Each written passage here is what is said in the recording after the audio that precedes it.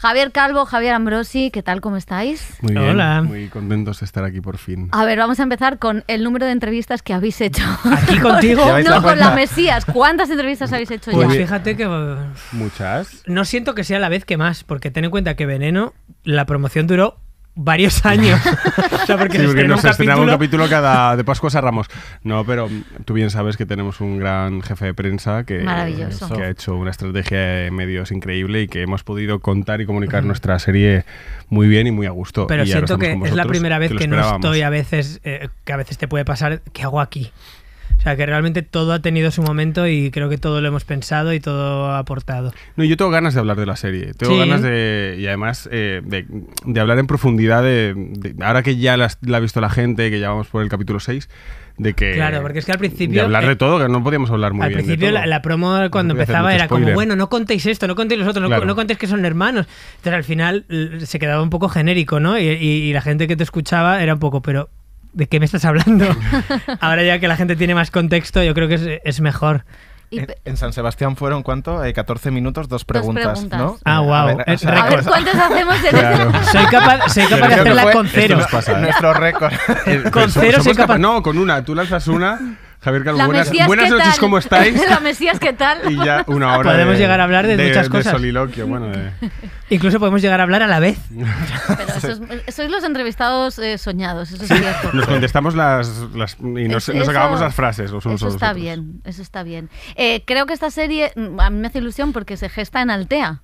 Entre Mm, masaje y Entre- masaje. Entre, otras cosas. Bueno, y en, en- y en más sitios.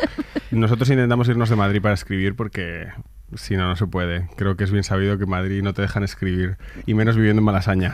Pero es verdad que, que en, el Sha Wellness fue justo cuando Javi me dijo, oye, eh, he tenido una idea que es una serie que se llama La Mesías, pero era una cosa totalmente diferente. Iba de la historia de una actriz que no podía llorar en los castings por la medicación que tomaba, entonces decide dejar de tomarla y entonces empieza a abrirse ante ella un mundo, ¿no?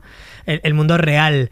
Que, y, y en ese mundo real incluye que es hija de Dios, ¿no? Y que tiene, que tiene una conexión directa con, con, con- con las Esa voces. era la idea. Entonces luego, a raíz de ir desarrollando y ir añadiendo capas, pues empezamos a pensar, ¿no? Y si además puede ser un grupo de personas que tengan un, eh, un vínculo familiar, y si además podemos añadir esta cosa de la viralidad que, que tienen eh, las flows, ¿no? Oye, si podemos añadir como diferentes capas y al final, poco a poco, pues fue surgiendo lo que queríamos hacer, con mucha investigación, que yo creo que fue la clave de todo. Una- Una de las frases más repetidas en, en las críticas, las primeras críticas que salieron de la serie es que era el salto de madurez, el salto creativo, cualitativo en vuestra carrera. ¿Creéis que ha sido un salto real o un camino que os ha Mm. llevado hacia ahí? Yo, yo sí lo siento, o sea, em, creo que siempre que acabamos un proyecto decimos, muy bien, ¿y ahora qué es, cuál es el siguiente reto? O sea, ¿qué le faltaba a este proyecto? ¿Qué necesita el siguiente? ¿O en qué nos vamos a retar? Y, y creo, creo que fue Juan Sanguino quien, creo que lo- fue él quien lo definió muy bien para mí, ¿no? Como que mientras que Veneno tenía una pulsión y una energía muy adolescente, eh, a pesar de que estoy orgullosísimo de ella, esta tiene una pulsión más madura y más... eh, más mm, mental, ¿no?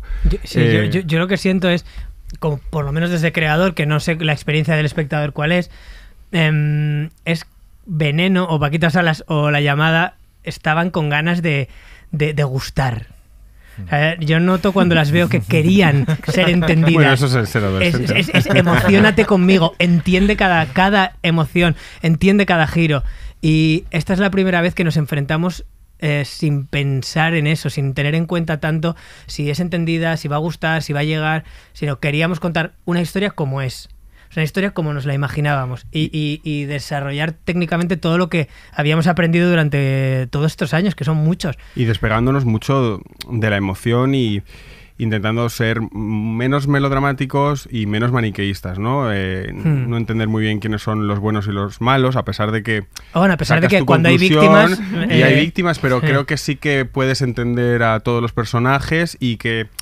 Y bueno, que hay una distancia, ¿no? Con, hay una distancia con la violencia, hay una distancia con el drama, no hay un in para contarte una emoción, no hay una música que acompañe la emoción casi nunca. De hecho, la, la música es cero narrativa en esta serie, es una capa más artística. Bueno, como que hay muchos retos que nos hemos puesto a la hora de Mm. hacer esta serie y el principal era no explicarnos y no subrayar, ¿no? Hmm. Como hacer algo, eso yo creo que se entiende por madurez, algo más despegado. Sí, y- supongo que, que la madurez tiene que ver con eso, con. con. que a das ver, un paso esa sonrisa atrás. que se ha visto. No, que quiere decir con, con que te importen menos las cosas. Eh, iba a decir literalmente, pero es que a nosotros nos importa mucho eh, lo que hacemos, entonces no es literalmente eso. Pero sí tiene algo de que te importen menos las cosas. O sea, Que te importa que te guste a ti. Sí, eh, a mí me apetecía estar orgulloso yo.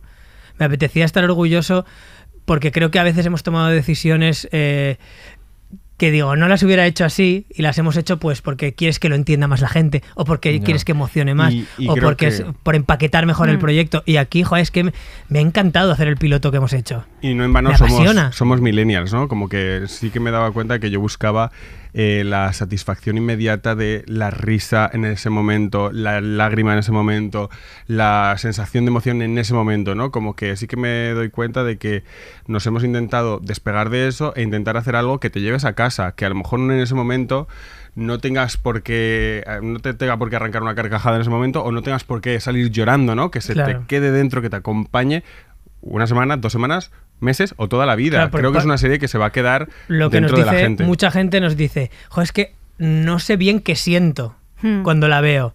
Sé que me, me encanta, estoy enganchado, eh, pero no sé bien qué me mueve. Porque según quién le toca unas fichas y quien le tocan otras. Es decir, si acabas de ser padre, que le pasa a mucha gente, dicen, Dios mío, o sea, me ha roto. Si de repente tienes una infancia que tiene que ver con la religión, como es mm, el caso de muchos españoles y españolas, eh, te, te dicen, no, es que justo habla de mí por esto. Pero, por ejemplo, en el capítulo 6, cuando el personaje de Aina le cierra la puerta a, a Cecilia, mucha gente te dice, joe, qué cabrona, ¿no? Se lo cierra y tal. Pero otra gente te dice, qué, Qué bonito, bonito. ¿no? Porque ella sabe que Mm. Ella sí tiene un futuro y se la cierra como acto de amor, de, de fraternidad, ¿no? Y- y para mucha y a mí eso me encanta, haber conseguido soltarme un poco de, de- del resultado. Y para mucha gente eh, es Aina la que se queda encerrada, pero para otra gente es Cecilia la que está encerrada en el mundo, ¿no? De Mm. hecho, hay Mm. un plano a través Sí. de cada, de cada reja. Y bueno, yo creo que Mm, eso responde a tu pregunta. mm. Por supuesto. Muchas más. Sí. Bueno, Javier Carlos, Javier Ambrosi, muchas gracias. que Ya no dices- no dices los Javis. Ahora, los Javis, ¿no? Puedes decir los Javis, me encanta Ay, que a mí me encantan los Javis. Claro Siempre, que sí. por supuesto. Eh, lo que sí vamos a hacer ahora es que vamos a empezar a hacer un recorrido, si os parece, por la serie. Venga. Ah, por la serie. Eh, Me apetece Creía que ibas a hacer un recorrido por mi carrera, digo. Mío. No, cariño, por la tuya, en solitario no existe. No, no, no, que además yo sé que empezaste en teatro en Las Rozas. Sí, es ¿Ves? verdad. Ah, Con una amiga mía. si Esto es todo. ¿Qué? ¿Con qué amiga tuya? Leticia. Oh, Pero ah, bueno, que ¿qué estuvo en? Operación Triunfo. No. No, esa no es. No, no como era la cantante. Esa era, la Esa que me daba, Nur, esa Nur. era la que me daba clases de canto en la Casa de la Cultura. Exacto. Una de Operación Triunfo. En serio. Del que Nur, una tal Nur, Bueno, que nos vamos por las ramas. Que nos vamos por las Venga, ramas. que vamos a hacer Vamos a empezar.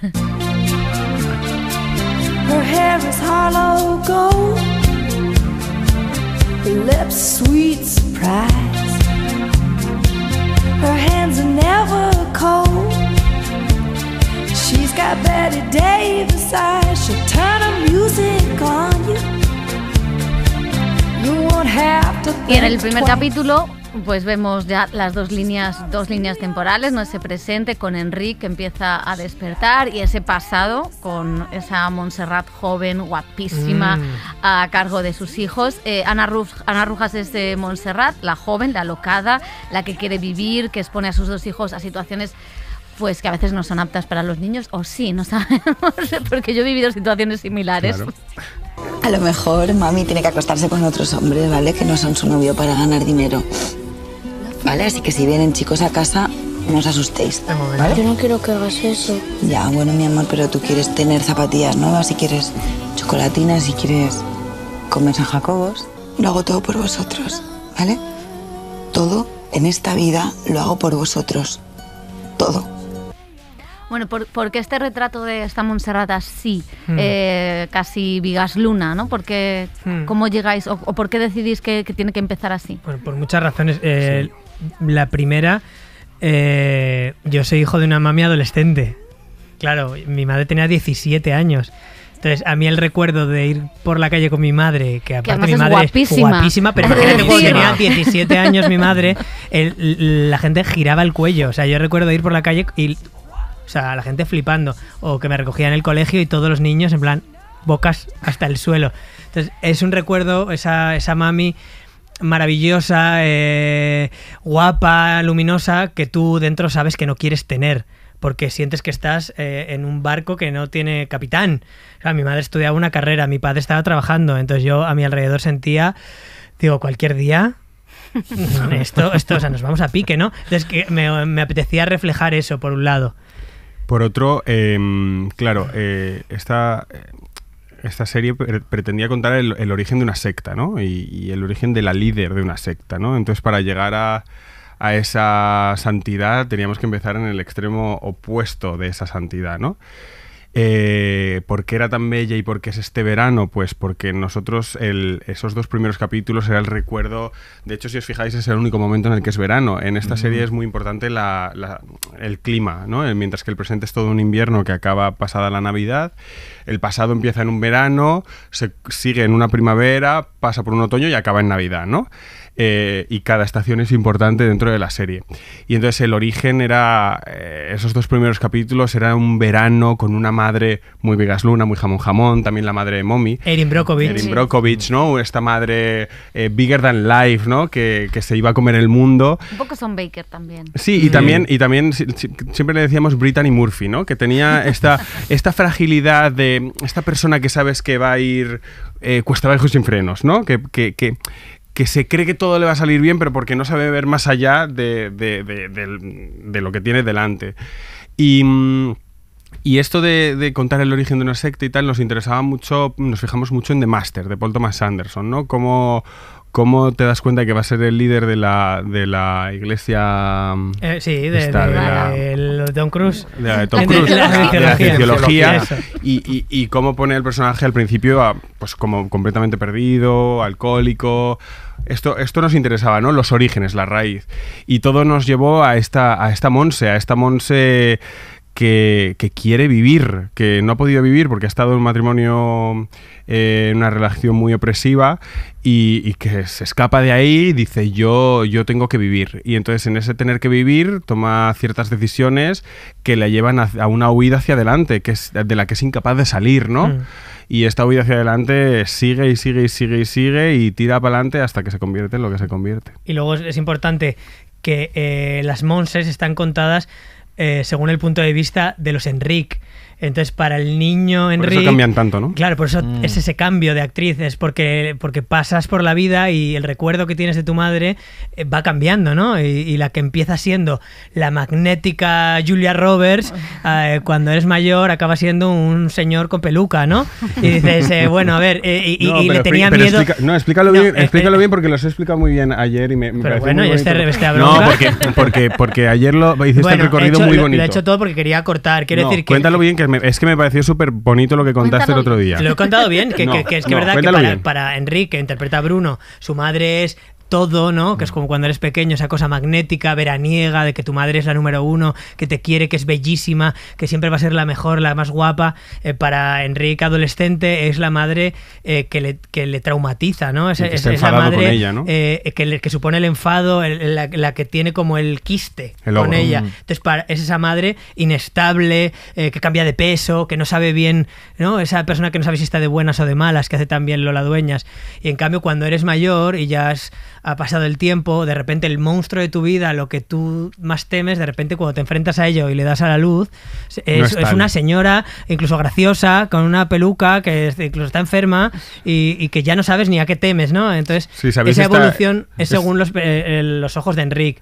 Esta sensación de volver a casa y darte cuenta de que, de que es más bajito eh, que, Sí. la, que la mesa de la cocina a la que no llegabas, de repente dices, que bajita me llega por la, por- me llega por la cadera, ¿no?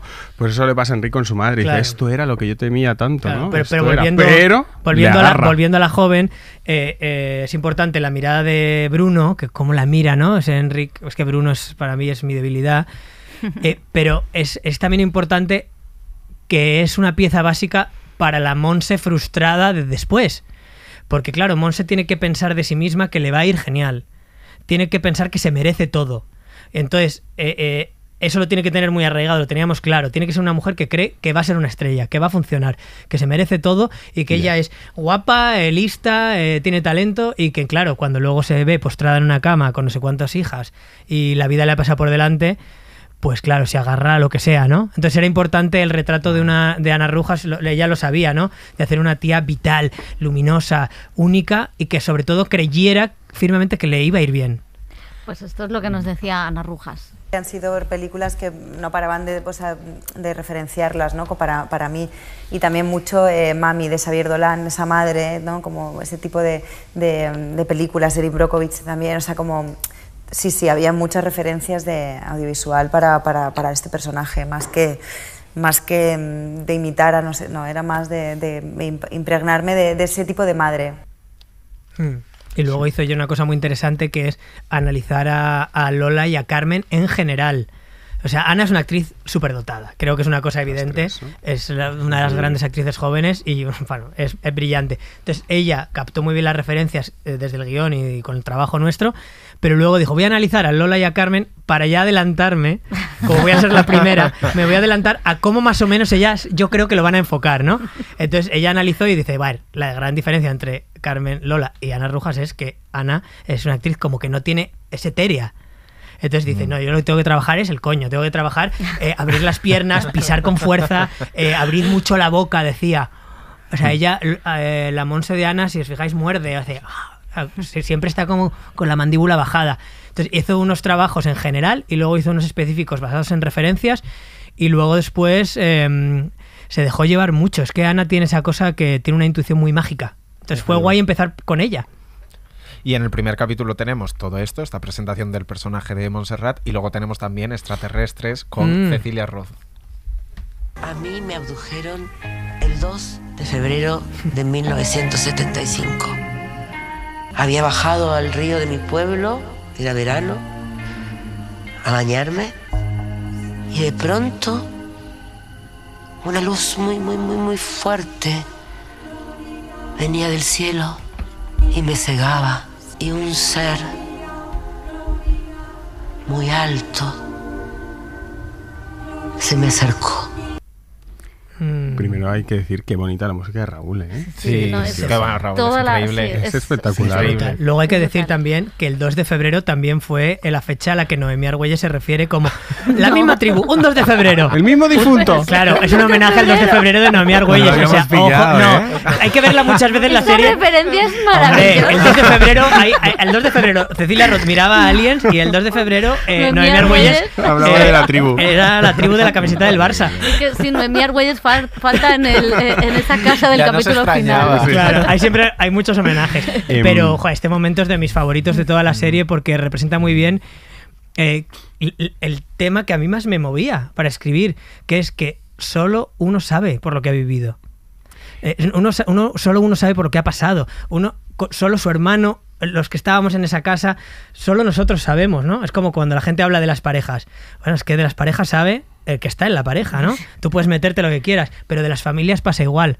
Entonces, para mí era muy emocionante escribir eso porque creo que para mí, para hablar, hablar de mi familia es muy raro, es difícil, no, no tengo palabras a veces, porque lo sabe mi madre, mi padre y mi hermana. Y lo que hemos vivido ahí nos une y nos separa. Entonces era como esa cosa de darnos las manos y decir, joder, es que vivimos juntos esto.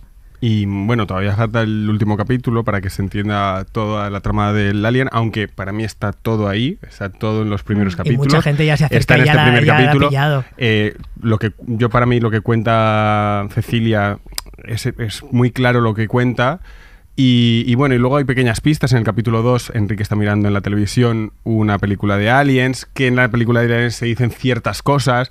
Luego en una escena en la que Ana Ruja se lleva a los niños de la casa, se ve un dibujo detrás de Enrique donde hay una mano con el alien. O sea, como que las pistas están todas ahí, que ya se juntan al puzzle, porque me enorgullezco de decir que no hay ningún fleco sin cerrar en esta serie. Em, pero claro, y no quiero hablar mucho de ello porque, porque el 7 va de esto, pero también todos sabemos que la Mesías habla de muchas cosas y de muchos tipos de personas. Pero también habla de ese tipo de persona que busca y busca y busca en las clases de constelaciones familiares, en el tarot, en la astrología, en, las, eh, La en la numerología, en la psicoterapia, en en, el clases, Reiki. en clases de interpretación, en Reiki. Y busca y busca y busca y busca y busca, porque hay un dolor y algo que sientes que, que- que no se puede sanar y, y hay un tipo de persona que te la ves en todas estas clases, ¿no? Mm, Es el actor que de repente es coach, que de repente es facilitador de, de, de sapito, de Sí, repente co- cosas, y- cualquier y- cosa y dices, wow. Y, y- y me, y me interesa y me fascina. Y, es, y ese tipo de personas que están en continua búsqueda eh, es un poco lo que contamos a través del personaje de Cecilia Roth que va a ser el personaje Enric y que ya no puedo decir más, pero, pero de eso también habla la serie, ¿no? De, esa de esas personas que buscan en el esoterismo, que es otra manera de esconderse de- en una Mm. religión. Bueno, es que es una- De esconderse es- no. es que es una- De esconderse es que no, de encontrarse en una religión. eh, eh, buscan sanar, ¿no? Es que de, la tiene, manera- tiene de una manera elementos- desesperada. Tiene elementos religiosos, todo. El gurú, el facilitador, eh, el grupo. el yoga, eh, o la, Todo. Lo- la- la- todo. la oración. A ver, tú Pero vas, yo a, también, ¿eh? tú O vas sea- a cualquier a cualquier Bikram yoga de un euro eh, o de dos. y, me encanta. O de- o de 100. O de 150 la sesión. Te y- y-. Y, y no, y tienes que y te hacen el simbolito con las manos y, nada, y no sé cuál. Y, y siempre hay Bien. como tal. O vas a una meditación gratuita y hay a un las que señor- vas tú, ¿no? y Sí, voy a todas, que me encantan. Y, y- y hay un señorcito puesto en un marco. Que Sí. tú estás haciendo la meditación mirando a un señor que no sabes quién es, pero estás adorándole. Y ¿no? entonces, bueno, de, habla este, la trama de los aliens habla de muchas cosas y, y entre ellas de esto. Ujú. De la búsqueda constante. Como del círculo de constante. Pero es que no sé cuándo se emite esto. Eh, ya con Ya. la serie Ah, terminada. ah, ya con la la serie terminada. Claro, Ah. por eso lo hemos hecho. es- Ah, claro. O sea, Claro, tampoco es cuestión de hacer spoiler, No, pero no hagamos spoiler no del haya final. acusaciones de nada. No se haga Pero spoiler del de final. cierre. No, no, Vale. porque la Vale. gente la vea y la... di- o sea, Pero que- animamos a que vean el final porque el final redondea exactamente sobre todo los personajes de Enrique, de Irene y de Cecilia, ¿no? Que, que, o de la tía Rosa también, que tiene un momento precioso. Pues si os parece, vamos con el capítulo 2.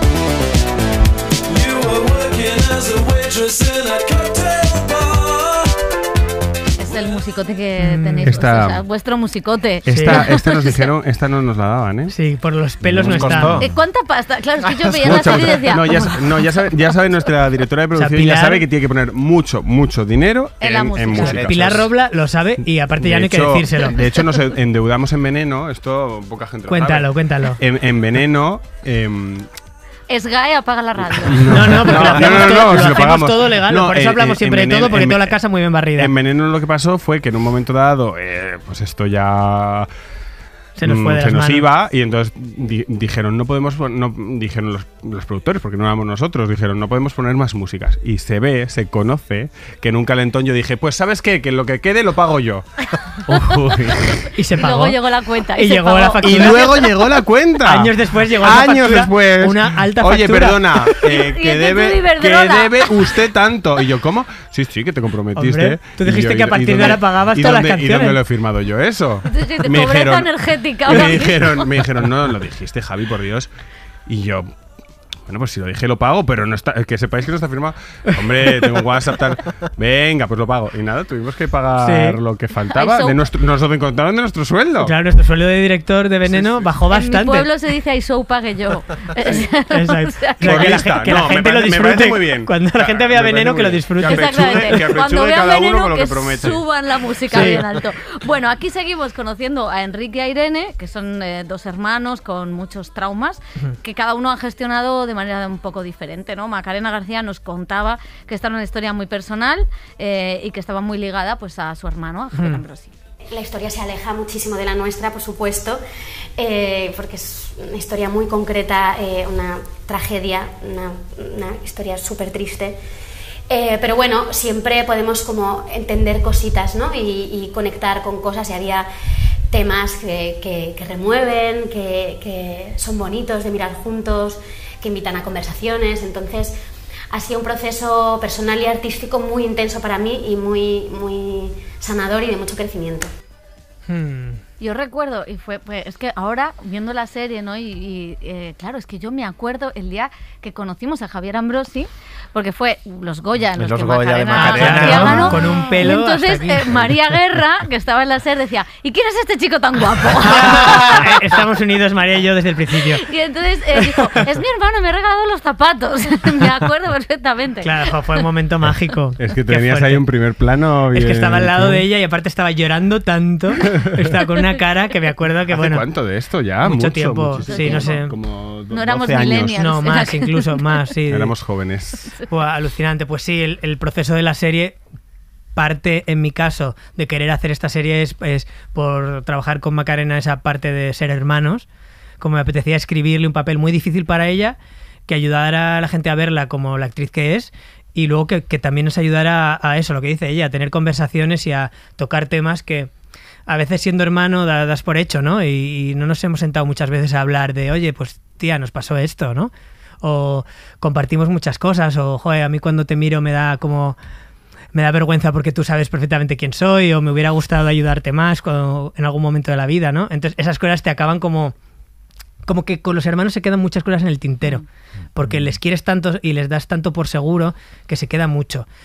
Eh, y entonces, claro, escribiendo pues fue muy catártico y dirigiendo más, porque yo veía textos dichos por Maca que sé que me los estaba diciendo a mí. Es decir, la escena de la feria del final de la serie que, que- que, bueno, no, no- no es, no es spoiler, pero habla como de, bueno, quizá deberíamos vernos, ¿no? Eh, sé que ya lo trabajó así. Que ya me estaba diciendo, oye, quizá deberíamos querernos más, no sé, o querer- que, de- que nos queremos un montón, de- pero quizá deberíamos ahondar más en nuestra relación. Y alguna vez, por ejemplo, en la rave, la tía me decía que se quite Rulle y ponte tú. Y digo, o sea, mira, vamos a ver, una cosa es que hagamos, eh, una cosa es que, que, que- que hagamos como una cosa bonita, tal, y que no hay un acercamiento, y otra método. cosa es que yo haga aquí terapia, ¿no? Y luego cosas bonitas, por ejemplo, es que el teléfono de la esperanza del capítulo 4 era el teléfono de mi casa.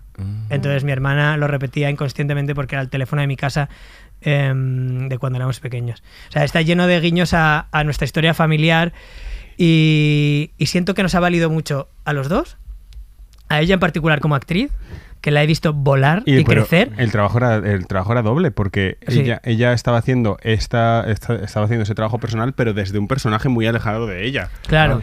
Y entonces esto era muy interesante porque nosotros le dijimos Maca, Isabel Huppert en eh, La pianista, en él, o sea, cualquier personaje de Isabel Huppert me vale. O sea, O sea, algo muy algo, extremadamente alejado a ella, ¿no? Eh, que ella tiende a, hacer Sí. todo simpático y cercano. Entonces, claro, cuando se ponía personal, hablar de cosas personales, le salía la Macarena que todos Claro, y conocemos. entonces era eso, pero tienes que hacerlo desde el personaje. Entonces tú tienes que sentir todo esto, pero no puedes dejarlo pasar porque tu personaje no llora casi. De hecho, tiene dos explosiones de, de llorar, pero no, no, no, nosotros no queríamos que llorara, queríamos que fuera muy fría. Entonces, joder, el trabajo es doble por eso, porque Hmm. es ponerle algo personal y algo muy, muy de ella y muy de método, pero eh, trabajando un personaje. Mm. Y bueno, yo, creo que a ella le ha valido mucho personalmente también. La veo súper ligera, como si algo hubiera cambiado dentro de ella y también dentro de mí. O sea, como que siento que, que aquí me, me he dejado una parte que me pesaba mucho. Me- no sé, estoy como a raíz de haber estrenado La Mesías y ya que esté completa para la gente, siento que hay como... Una liberación. Sí, no, no sé, es como algo nuevo dentro de mí que es como, bueno, pues ya está, yo ya, ya no, no voy a hablar más de ya de nada. Es que realmente, de realmente estos temas, es como que sí, que fue, que ya está, que sí, que pues fue complicado en algún momento y ya está. Pero parece que no, pero es que se habla mucho de lo catártico que es y es realmente catártico cuando pones tus problemas en una ficción, no solo como director o como guionista, como, como actor también, y lo dejas ahí, lo ves con perspectiva y dices, ah, mira, Claro, es que lo es- entiendo, entiendo estos personajes, entiendo por qué esta madre es así, Mm. entiendo por qué este padre es así, entiendo todo y ahí se queda. Claro, es ¿sabes? que es mítico de, de psicoterapia, ¿no? Poner una silla vacía y decir todo lo no dicho. Escribir, interpretar, es lo más eh, psicoterapéutico que existe. De hecho, por eso muchos métodos de interpretación se basan en eso y por eso muchos actores y actrices se quedan enganchados en la búsqueda constante de, de esa satisfacción que es lloro en cada escena, ¿no? Y es como, cariño, no. Te estás haciendo terapia, guapa. Que sí, es como, eh, usted tiene que ir a la otra, a la- tiene que ir al otro despacho. Págame Aquí que así voy para la música, voy ahorrando. se, se llora en alguna escena Quizá, pero en general nadie llora. Yo, yo, si fuera actriz, lloraría todo el rato. Claro. Eso está muy bien. No hay- luego hay- es verdad que hay personas que no lloran nunca. A mí me cuesta mucho llorar en mi vida. Solo lloro con las películas en mi vida. Pues yo te vi muy emocionado en San Sebastián. Sí, o Quiero sea, hacer terapia yo a ti. Sí, pero tú has cambiado mucho, también Sí, te has abierto me mucho he abierto más. mucho. Yo tenía un corte antes y es verdad que eh, traba- escribiendo y trabajando como actor tenía mucho corte porque claro, tenía como estaba mucho en el, en el gustar, en el aparentar, en, en que no me vean de una manera y cuando empecé a escribir y ser más eh, honesto conmigo mismo es cuando me he conectado más con mi emoción. Y además de Macarena, el, el otro gran protagonista es eh, Roger Casamayor. Mm. Uno de los grandes descubrimientos de la serie nos contaba cuando le entrevistamos que tardó un poquito en entrar en vuestra manera de dirigir. Tuve bastantes problemas al principio para entender exactamente desde donde ellos querían que salieran las cosas. Porque yo vengo de una escuela pues más mm, de texto, de tal, aquí hay una coma, mm, cuidado que si dices una palabra, un sinónimo, lo que sea, y aquí era todo como una libertad absoluta, todo lo contrario. O sea, en realidad me decían, olvídate del texto, no nos interesa nada del texto. Lo que... Yo no, lo entendía, digo, ¿cómo, puede ser eso? No, no, ¿Cómo me olvidar del texto? No, no, yo digo aquí todo.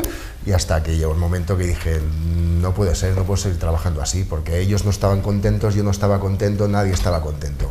Y entonces ahí empecé como un proceso de reaprendizaje no, a, nivel personal de, de mi manera de trabajar. O sea que a mí, yo he aprendido un montón. Mira, Mira, Bueno, esto os lo tenemos que agradecer. ¿eh? El haber eh, dado la oportunidad a Sí. Roger Casamayor es una Es cosa que os enorme. agradecemos muchísimo. Muchas es un actor enorme. Yo espero que se, que se lleve los reconocimientos que se merece porque Sería un esta sueño. persona ha, ha entregado el cuerpo, el alma y más de lo que podía entregar a este papel. Hay- yo quiero contar lo que pasó. Eh, Eva y Yolanda, nuestras maravillosas directoras de casting, eh, dijeron, bueno, el melón, Enric. Empezamos por ahí. Yo le decía, Casey Affleck, tráeme a Casey Affleck, ¿no? En, en- ¿cómo se En llama? Manchester by the Manchester Sea. by the Sea. Tráeme a Casey Affleck en Manchester by the Sea. Y no vengas con otra... Bueno, si viene... Este, ¿cómo se- y si viene Joaquín Phoenix, lo aceptamos Vale, también. sí. Ok, uno de estos dos. Me dice, venga, lo intentaremos. Tal. Y, mm, y vimos unas cuantas pruebas que, no, que estaban guays eh, y, y de repente apareció Ruye. Yo no vi ninguna. Sí, sí viste. No. Un par, un par viste. Pero como que, bueno, que estábamos ahí buscando porque sabíamos que era un reto para nosotros hacer un personaje masculino, protagonista, que nunca lo habíamos hecho. Bien. Y entonces llega, llega el vídeo de Rouget, tenía que abrir la puerta y hacer una escena eliminada. Porque eh, todas las escenas que se hacen en los castings se suelen hacer mal luego en eh, cuando se rueda. Porque ya se tienen viciadas de antes de trabajar Claro, el pero los actores se lo preparan solos, sin director. Y luego Claro. esa Claro. escena- Y no. Sí, Muy sí, mal. se no, claro, Claro. Es, lo, es lo que hay. Claro, claro. No hay que hacer separatas importantes en los castings porque luego los actores se lo aprenden eh, como no es. Em, dicho esto, abrió la puerta Ruye y Javi dijo, es él. Así tal cual. Y dije, Javi, un segundo, por favor. Vamos a... Vamos. Pero es que siempre le pasa. ¡Siempre! Sí, aparte me- en el fondo, secretamente me odia y me ama por eso. Porque, dice, pero a la vez, a la vez me odia un poco, ¿eh? Y dice, es él. Y dice, es él. Y digo, bueno, Javi, espérate un Sí, segundo, es primero como- que vea la prueba, ¿vale? Déjame y ya, Javi, segundo, por favor. Y segundo, eh, un segundo, que es un personaje muy importante, no me pongas nervioso. Y dice, no, es él, es él, lo he visto en sus ojos, en cuanto ha abierto la puerta y lo, he visto. Entonces tú sabes, Javi, que cuando yo siento algo, mm, es así, lo tengo que... Me dices, si tú dices que no, vale, pero yo te digo, confía en mí, que es. Quedamos con él, le decimos, mm, bueno, es que hemos visto algo en tu emoción, que creemos que tal, él, eh, hablamos de relaciones familiares y tal, y veíamos que se emocionaba y tal, y, y dijimos, bueno, pues, pues venga, genial, es tuyo, y yo estaba muy contento, pero es verdad que, que cuando empezamos a trabajar, claro, él trabajaba des- desde un lugar, que es lo que ha contado, que era muy antigua escuela. Y, Bueno, que trabaja más desde el texto. Claro. Sí, desde el texto. Y nosotros ya sabéis que no, que es desde la verdad absoluta y que nunca se puede ver ningún tipo de texto. No puede parecer que nadie se haya aprendido nada. Y, y, claro, tuvimos Javi y yo muchos problemas. En plan, Javi, ves, es como cómo te aventuras, es que cómo puede ser, cómo Sí. me haces esto, siempre igual, eh, Así peleas, no meses sé y meses. Todos los ensayos, Y- los primeros meses de rodaje. sí. Yo ya incluso, eh, hay que decir que llorando incluso, Sí, y ¿eh? entonces Javi me dijo... Javi, llegó- para ya, por Javi favor, que es un- dijo, ya esto es fuerte, tío. Javi llegó un día y me dijo, no funciona, habla con él. Ya me, ya me harté. Y a mí déjame en paz, os lo solucionáis vosotros. Y fue cuando yo fui con Ruye y dije, Ruye, vamos a sacar esto y vamos a hacerlo lo mejor que no lo ha hecho nadie.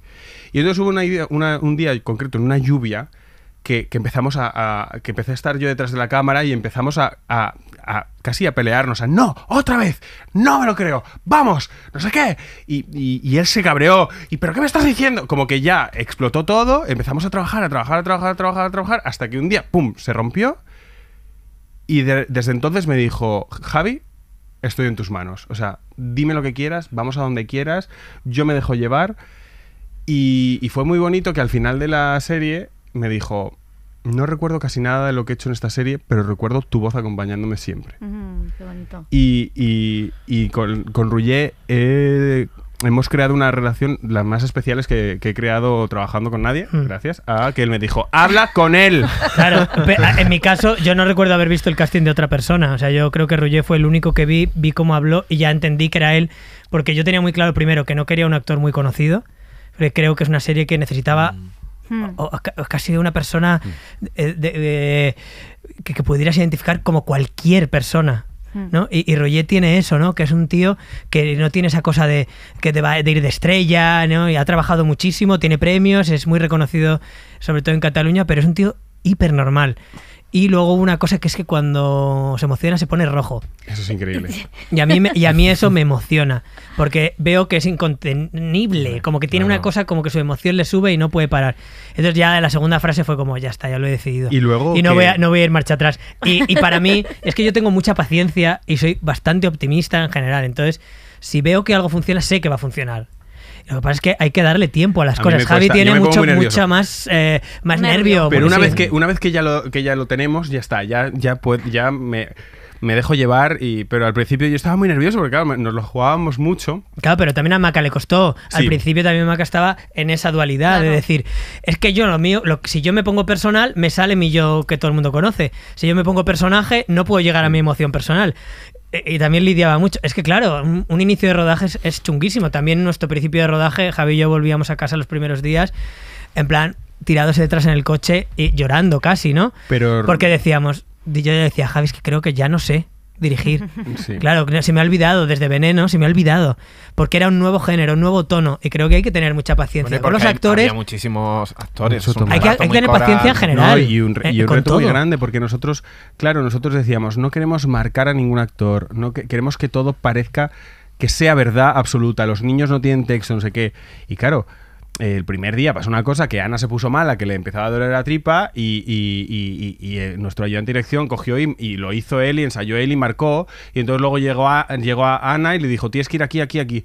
Y yo me, me enfadé y dije, joder, por favor, no, deje- no nos dejemos llevar por esos vicios, que no quiero marcar a los actores, que no quiero que por mucho que vayamos mal, o sea, como que costó mucho em, con nuestro equipo Sí, entender y, y a lo que nosotros queríamos hacer. entender esta nueva manera que queríamos hacer, que no era convencional, no es el actor llega a una marca y dice una frase, ¿sabes? Es, Mm. es distinto. Y aparte era algo que no habíamos hecho exactamente así. Entonces nos lo estábamos inventando A y teníamos que, que que- explicar. que- que explicarlo a- no solo a los actores, algunos de ellos niños, sino también a los adultos y, al- y- y a los técnicos que se nos acompañaban. Entonces era inventarse una manera y, y explicarla a la vez. Entonces eh, eh, al principio era muy frustrante y para Rouget y bueno, para todo el mundo era muy... Pero Ay, yo, ¿qué estoy haciendo? yo tengo que decir de Rouget que, jo, realmente es, es... Claro, a mí me ha tocado mucho esta persona porque realmente es una persona distinta. Cuando acabo la serie, es un actor distinto y una persona distinta. Y, y eso él me lo dice, dice, joder, que, que- que a mi edad, porque claro, él es un actor maravilloso, pero, pero claro, nunca había trabajado como nosotros. Y, y él me lo dice, dice, yo soy un actor distinto. Y, Es- es y- dejarse, dejarse tocar así por un proyecto, Es- ¿sabes? es- es un Personal y- y profesionalmente, es de estar tan abierto que, que, claro, normal que haya salido así. Y su principal él, él virtud está abierto. es, o sea, él le dices, oye, Ruye, que vamos a hacer la portada del país semanal, tal, no sé qué. Ah, no, yo no puedo ir. y yo, pero ¿cómo no vas a poder ir, cariño? Nos Tendrás que no, que tienes que venir. Y, no, ¿eh? Y dice, y- no, dice que no, que no, que, Claro. que me niego. Que no, que yo son mis días de vacaciones con mi familia y ella me dice que me, ya es que ya me estoy yendo. Es el mejor. Y digo, pero ¿cómo no vas a hacerlo? ¿No te Maravilla. interesa? No, la verdad que no. o sea que tiene una cosa que eso es lo que le hace tan especial. Es, es un, Campechana, como la reina es un es, es que es, es- es Luego había una, persona. Había una canción que le emocionaba a él mucho, yo siempre se la ponía. eh, siempre- yo siempre llevo un altavoz siempre. Y entonces cuando veía qué tal, le ponía la canción ahí sonando bien en alto y entonces él entraba mucho en nuestro código. Él entró. 100%. Entró, tardó un poquito, pero luego el 90% del rodaje voló. Lo que dice, no me acuerdo, chicos. No me acuerdo, claro, porque le íbamos hablando, dilo otro, dilo contrario, anda por ahí, sal. Ah, o sea, eh, estaba en shock. Como Enrique. Como Enrique. Vamos con la tercera música.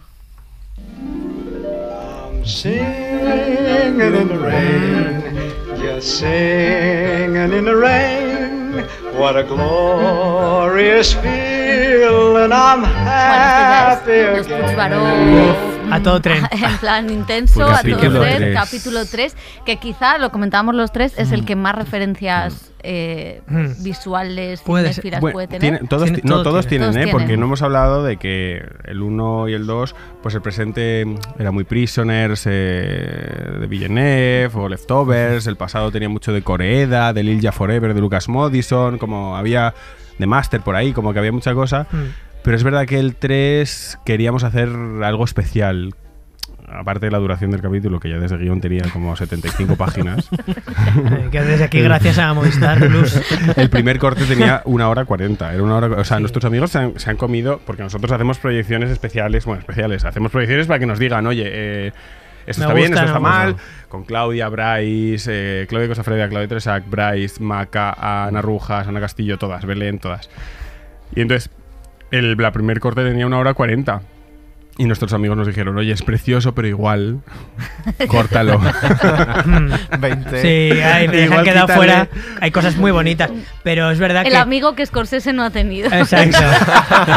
que, te- que- que ole Sí, las cosas exacto. largas. que sí, no, es Que- maravilloso. sí, pero a mí es- me encantan las cosas así fuera del sistema. que- que- mucho no, mejor. pero es verdad que, que- muchas veces cuando le cortas las puntas a algo se entiende mejor y llegas mejor y todo es mejor. Mm. Y a veces cuando te pasas A de no. frenada de cortar, te cargas la esencia de un proyecto. es que nunca se sabe. Pero sí, en este capítulo quisimos hacer una película de cine clásico, ¿no? Eh, de cine clásico, incluso de cine clásico español.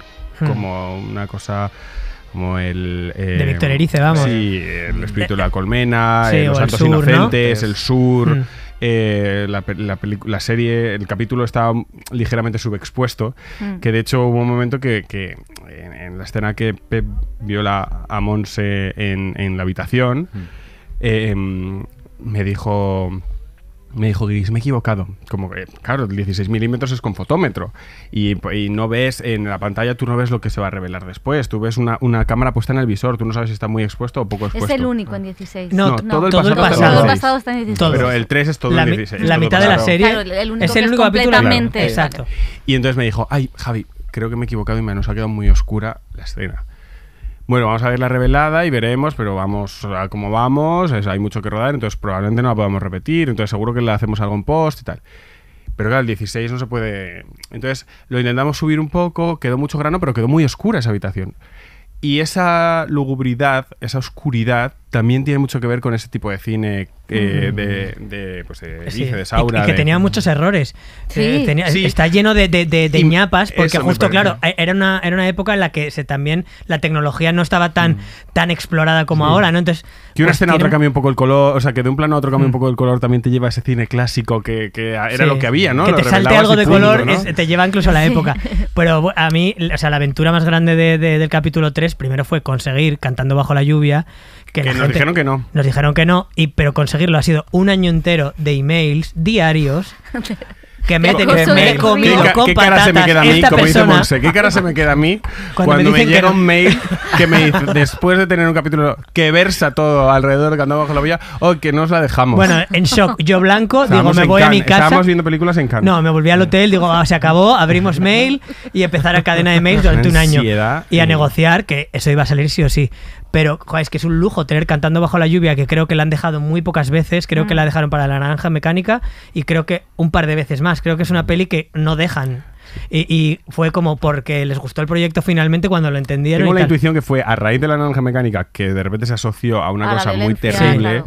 eh, que tienen más cuidado. Sí, de hecho, es cuando había palabras en el guion que, nos que ponía como castigo, que la madre castiga, eh, la cosa se volvía más turbia. Bueno, ya no nos lo damos. Y yo, no, a ver, vamos a ver, castigo. Pero es bonito lo que hace. Castigo de niños. Sí, que no, que es una forma de hablar que, bueno, una movida. Pero que es increíble que esté cantando bajo la lluvia las canciones. También explícale la tú peli. a los señores americanos, sí, Bueno, es que habla con Dios. habla con Dios. Y entonces coge al niño, lo mete en un cuarto que da vueltas y entonces, bueno, mire, vamos a dejar esta conversación. ¿No? Entonces, eh, joder, pues sí, el, ca- el capítulo 3 para mí es creo que uno de los más bonitos de toda la serie. Fue Ah. una pasada escribirlo, dirigirlo, sacarlo adelante. Aparte de esas películas eh, de cine clásico español, pues mm, nos fijábamos mucho en Alice Rohrwacher, eh, Sí. en, Hmm. en, eh, las Mara- El País de las Maravillas, o incluso Corpo Celeste a veces. Incluso o, Donnie Darko. O, o Lázaro Felice. Tiene momentitos. Donnie el- Darko el nos fijamos arbolcito. mucho cuando él salía, cuando, Eh. como que de repente eh, eh, dentro de la casa era el espíritu de la colmena o, o el país de las maravillas o Lázaro Felice y al salir era Donnie Darko.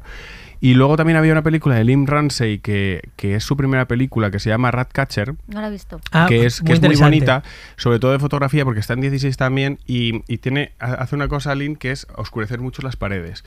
De manera que la luz que llega se refleja mucho en las caras y en las, y en las texturas de los sofás y de tal. Y esto era un referente muy Hmm. fuerte para. Y también los encuadres y tal, para, para el capítulo 3. Mm, El capítulo 3 que es, digamos, luego el 6 es el espejo. Es Mm. toda la misma familia tiempo después en una casa diferente que en vez de tener las paredes oscuras, esta vez en el 6 tiene las paredes claras, ¿no? Que da casi más terror, ¿no? Más, Y en es el más que- Yorgos Lantimos. Claro, y que es todo como el espejo eh, justo inverso en el que de repente Enric, que es el rebelde en el capítulo 3, en el 6 es el niño de mamá, Irene, que es muy callada, es la que monta el pollo y, y- y Leticia está casada con... con el Felipe está casado con Felipe Leticia está Ortiz. casado con Leticia Ortiz. y- Yo estoy con ella, no están casados. Eh, no están casados. Ese, no, ese, no será, ese será otro Felipe, no Felipe Claro. Felipe. Eso está escrito en guion. está del lado de las fotocopias. Claro, por supuesto. Ese, será otro Felipe, no Felipe guion Felipe.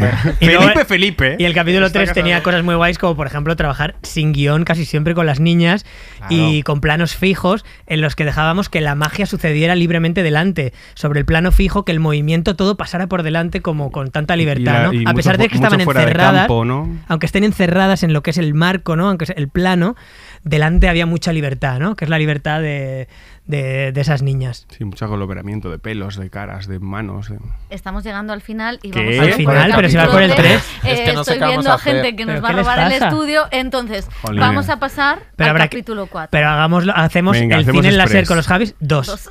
Podemos hacer. No, vamos a ir rápido. ¿cómo estás? Al Hacemos, el- la segunda mitad otro día. Pero es que, la serie han sido voten tres los años. oyentes. Que la serie han sido tres años. Dejamos no te hasta- puedo decir Manda cuatro. 091 si Deja- quieres. dejamos, hasta, Politono. dejamos hasta el 4 y los tres últimos otro día.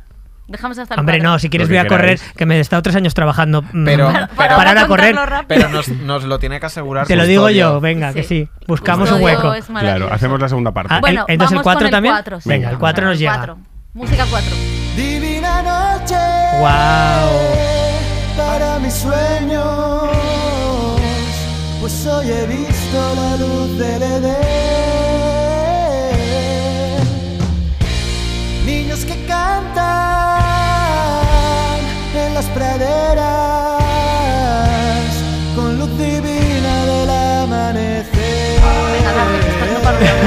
Los Puigbaró, ¿cómo están en este capítulo? Ah, Es que que hay, tanta, hay tanta amiga que cortar.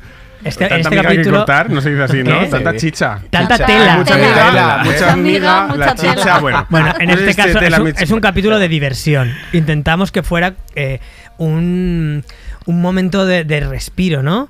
Pero es verdad que pasan cosas fuertes, pero que tuviera ese festival, ¿no? Que tuviera esa rave, que por lo menos hubiera mucha gente y se viera también el nivel de producción. Yo creo que es una- un capítulo que es un poco más loco desde la concepción y que también nos permitió divertirnos con la Monse ya conectando, ¿no? que, ya que, que en todo su Este- esplendor. Digamos que aquí en este capítulo dejamos de lado estas, estas películas de realismo mágico rural, ¿no? Que eh, en el capítulo 3 solo la luz solo entraba por las ventanas, no había luz interior. Eh, y al monster gurú eh, se convierte en, eh, en The Master, ¿no? Como a pesar de ser la Monse, pues las referencias eran. La luz ya venía desde dentro, los colores ya eh, son otros, empastaban mucho. En el capítulo 3 era muy empastado porque, por eso, por, la, por el, origen de la luz, y aquí ya hay otro tipo de color y, y- y la Monse ya está bien, un poco bien, ¿no? Como ella ya se arregla, se tiñe el pelo de, de cobrizo y es más, pues esa, tiene el chiringuito de embustera ya montado, ¿no? Claro. Eh, tenemos el, Claro. el- Muy bien montado. Muy bien montado. Muy Eh, bien en- un principio ella cree que los salvadores del mundo van a ser ramas de olivo, a Ramas de Olivo los manda a un festival que la cosa sale regular, pero oye, que no, que Dios se había equivocado.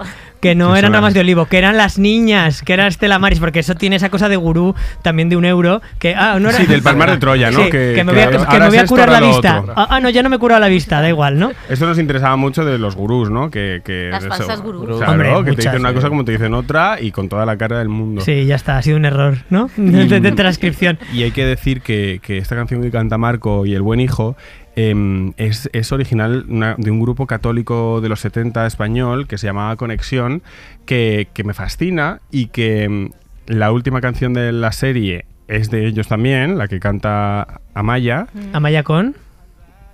Con, a- bueno, es que ellos no lo saben porque Pero ellos han visto la- pues claro. con Asier. Asier también canta en esa canción. Sí, bueno, en la última versión. En la, claro, versión final que no ha visto. Bueno, que ahora ya habrá visto la gente. solo. Claro. Y, y- y- y- y era Luis Cobos el que componía y ¿En el que hacía todo. Sí, sí, sí. En los años 70 hacía música religiosa. Este capítulo me encanta, la verdad. Tiene algunos de los momentos más guays que son la rave, cuando Irene Sí. tiene ese momento de, de- de irse directamente y luego todo ese final con experiencia religiosa y los policías entrando, que es un único Que- plano que claro ¡buah! que- que fue brutal de rodar porque claro, eran policías de verdad, eran, Eran Mossos reales verdad. que, que organizaron El, el la toma de esa casa con las niñas dentro de verdad, o sea, Claro, y o sea, cuando el- Gris. todo cuando lo que pasa es, un- dijo- es miedo real. Cuando Gris nos dijo, no, ah, vamos a hacer esto en un plano secuencia. Y yo, Gris, vamos a ver, tú quieres hacer un plano secuencia con eh, seis niñas, eh, ocho och- ocho Mossos, eh, Albert Pla llegue- y- y Lola Dueñas. Albert Pla, Lola Dueñas, que llegue al ojo de una niña y que caiga Y una lágrima y junto, y justo antes y de ir a, ¿eh? junto- justo antes de ir a créditos, ¿no? con el ariete, pum, dando Eso un es- golpe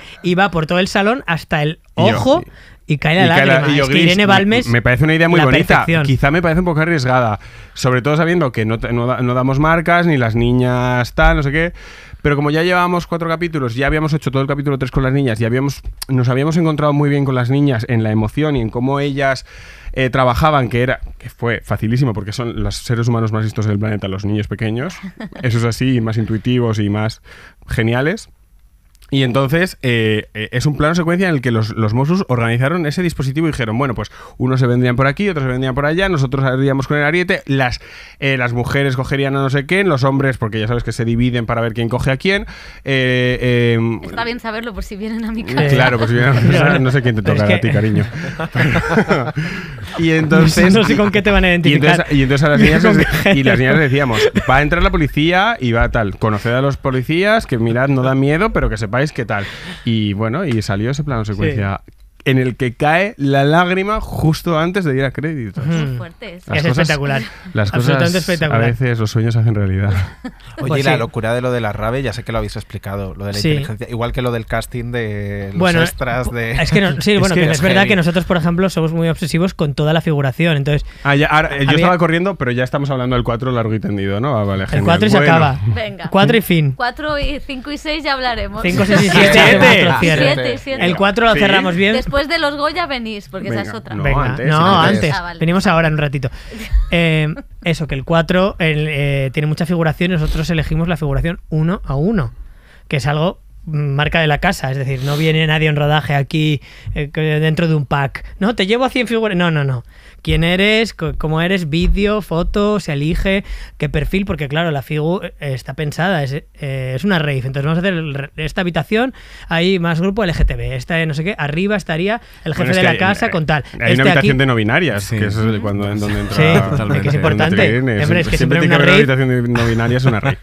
En una rave siempre hay una habitación a- así. Y luego había como, bueno, había mucha división. Entonces, lo que tenían en común era que eran todos raveros verdaderos. Sí. La condición era gente que fuera de rave a menudo o, o que hubiera ido por lo menos alguna vez. Y como rodamos dos tres días, muchos acamparon y, y durmieron. hicieron la rave hicieron-. No, la rave estaba. o sea, Estaba en marcha. estaba- Estuvo tres días en marcha. Estuvo tres días en marcha, la música estaba, todo estaba. Sí, de hecho yo perdía figurantes. De repente yo, Sí, sí, no, sí, yo sí. digo, yo digo, Sí, digo, este que me había sí, sí. gustado, ¿Dónde está? Y me iba a buscar por mitad del campo. Abrías el baño, por la caravana, el figurante y estaban pues haciendo sus cosas Sí, pero es que, detrás de un árbol. Claro, son tan respetuosos los raveros y tan buena gente que ellos, mm, claro, no te querían molestar. Tú montabas la grúa y tal, no sé qué, ellos estaban de fiesta. Si es que de hecho hay un vídeo de nosotros trabajando y los raveros de fiesta. O sea, la música nunca paraba. Nosotros íbamos montando la grúa, íbamos haciendo el plano secuencia y, y- y fue, y fue increíble porque, porque era gente de verdad y que se lo pasaron genial. Mm, Y luego, pues claro, tenemos esa parte que es la presentación del plano secuencia de, de llegada, que dura un montón, de la llegada de Irene y Enrique a la casa, y luego está el despertar después de la queta, que eh, intentamos darle un rollo con, con la inteligencia artificial, Claro. Que es lo que la gente ha comentado tanto. Es que, claro, eh, decíamos, ¿cómo haces un pedo de queta? Porque, claro, se han hecho tantas veces. O sea, ya, eh, o sea, eh, Miedo ya es con Las Vegas ya se hizo. Quiero decir, es muy difícil ya hacer eh, algo novedoso con un pedo. Pues, las dobles, las dobles, las dobles imágenes, el, el- el- gran angular y la cámara lenta, ¿no? Queríamos hacer algo diferente. Y es verdad que en toda la explosión de la IA, em, amigos nuestros tenían páginas de Instagram que pues Air Traditions Spain y cosas así que hacen eh, fotos de ella como que la mano se derrite, que la Mm. boca se cae, que intentan hacer personas pero no son personas de verdad, la- que están como en una paella, pero la paella tiene como medio pescado, o sea, como que hay algo que la pringada luego me dijo que se llamaba un, Uncanny Valley, Uncanny Valley, que es valle inquietante. Que es cosas que, parecen humanas cosas que parecen por los pelos. pero no lo son, ¿no? Que casi y, son. y que eso genera mucha ansiedad. Eh, porque parece pero no es, ¿no? Y, y dije, ¿ves? Por eso a mí esto me recuerda a Bad Trip. Me, me- me da, la, a mí la inteligencia artificial me da un rollo Bad Trip porque no acaba de ser. Y entonces eh, le di- dijimos, bueno, pues rodamos la escena de manera que se pueda montar así, no vaya a ser que no nos salga bien esto, y vamos a intentar pasarlo por una inteligencia artificial que haga que las cosas se vayan transformando. Pero no era tan fácil. Había que recortar a Maca, despegarla del fondo. Hola. Despegarla del fondo y a veces que ca- Maca cambiara y a veces que el fondo cambiara, porque si no te cambiaba todo y no había narrativa. Hmm. Y entonces encontramos una artista de inteligencia artificial y ella nos Mm. ayudó mucho. Y ya termino, ¿no? Porque hay que terminar. Sí, y, lo- y luego una cosa muy chula O sea, es de que... rave terminamos. Sí, que es una cosa muy chula que es que las niñas que eh, Irene se imagina que están sus hermanas en la rave, ¿no? Mm. Pues elegimos a niñas parecidas a las Estela mayores, pero que no eran.